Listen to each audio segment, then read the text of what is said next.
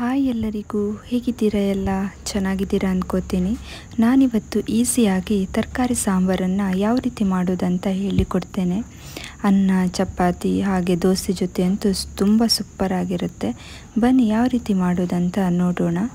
ನಾನಿಲ್ಲಿ ಸಾಂಬಾರಿಗೆ ಎರಡು ನುಗ್ಗೆಕಾಯಿ, ಹಾಗೆ ಇಷ್ಟು ತೊಂಡೆಕಾಯಿ, ಹಾಗೆ ಒಂದು ದೊಡ್ಡ ಆಲೂಗಡ್ಡೆ, ಇಷ್ಟನ್ನು ಚೆನ್ನಾಗಿ ತೊಳೆದು ಕಟ್ ಮಾಡಿ ಇಟ್ಕೊಂಡಿದ್ದೇನೆ. ಇವಾಗ ಮಸಾಲೆಯನ್ನು ತೆಗೆಯುವ. ಮಸಾಲೆಗೆ ಎಂಟು ಬ್ಯಾಡಿಗೆ ಮೆಣಸು, ಸಣ್ಣ ತುಂಡು ಹುಳಿ, ಐದು ಎಸಳು ಬೆಳ್ಳುಳ್ಳಿ, ಎರಡು ಟೇಬಲ್ ಸ್ಪೂನ್ ಧನಿಯಾಕಾಳು ಒಂದು ಸ್ಪೂನ್ ಬೆಳ್ತಿಗೆ ಅಕ್ಕಿ, ಹಾಗೆ ಒಂದು ಸ್ಪೂನ್ ಉದ್ದಿನ ಬೇಳೆ, ಅರ್ಧ ಸ್ಪೂನ್ ಸಾಸಿವೆ, ಒಂದು ಈರುಳ್ಳಿ, ಕಾಲು ಟೀ ಸ್ಪೂನಷ್ಟು ಜೀರಿಗೆ, ಹಾಗೂ ಒಂದು ಎಸಳು ಕರಿಬೇವು, ಇಷ್ಟನ್ನು ಡ್ರೈ ರೋಸ್ಟ್ ಮಾಡಿಕೊಳ್ಳಿ. ಹಾಗೆ ಒಂದು ಇಡೀ ಕಾಯಿ, ಇದನ್ನು ಸಹ ರೋಸ್ಟ್ ಮಾಡಿಕೊಂಡು ನೈಸಾಗಿ ಗ್ರೈಂಡ್ ಮಾಡಿ.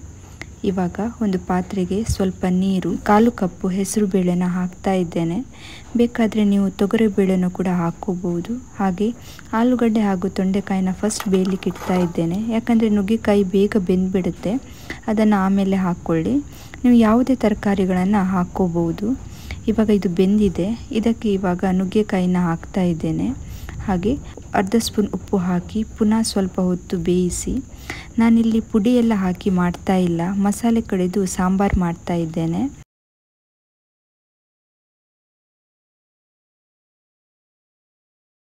ಇವಾಗ ನೋಡಿ, ಇವಾಗ ಇದು ಬೆಂದಿದೆ. ಇದಕ್ಕೆ ನಾನು ರುಬ್ಬಿಕೊಂಡ ಮಸಾಲೆಯನ್ನು ಹಾಕ್ತಾ ಇದ್ದೇನೆ. ಒಂದು ಸಲ ಹಾಕಿ ಚೆನ್ನಾಗಿ ಮಿಕ್ಸ್ ಮಾಡಿ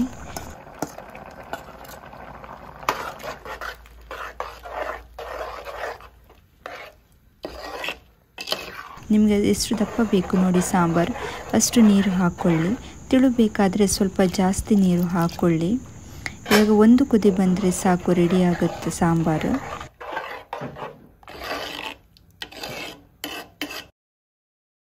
ನೋಡಿ, ಇವಾಗ ಕುದಿ ಬಂದಿದೆ. ಒಂದು ಸಲ ಚೆನ್ನಾಗಿ ಮಿಕ್ಸ್ ಮಾಡಿ. ನೋಡಿ, ತರಕಾರಿಗಳೆಲ್ಲ ಸ್ವಲ್ಪನೂ ಹುಡಿಯಾಗಿಲ್ಲ ಒಗ್ಗರಣೆ ಕೊಡ್ತಾ ಇದ್ದೇನೆ.